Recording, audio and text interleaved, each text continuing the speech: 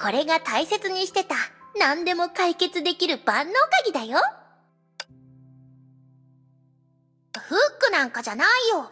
正真正銘のか。見くびっちゃダメだよ。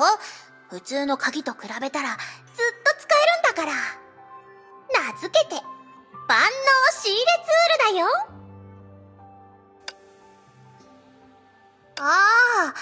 そっちの方は道端で拾ったんだ。使えそうなんだけど、どうにもこうにも直せなくて。